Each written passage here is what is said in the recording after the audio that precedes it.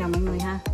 À, Hôm nay giới thiệu với mọi người đó là cái cáp OTG tiếp C ra USB Thì cái cổng USB này là USB 3.0 ha.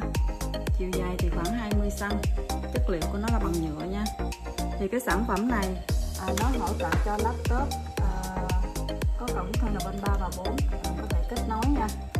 Cổng USB thì mình có thể kết nối được với à, con chuột nè bàn phím à, USB hoặc là hấp USB luôn ha. Chuột hoạt động nha. Bây giờ mình test thử ờ, qua bàn phím ha.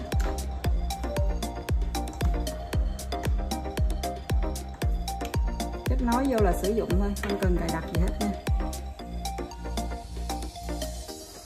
Đang sử dụng chuột ha. Rồi à, để biết thêm thông tin về sản phẩm á, thì mọi người liên hệ lại shop bên mình hỗ trợ về kỹ thuật nha. Em chào mọi người ạ.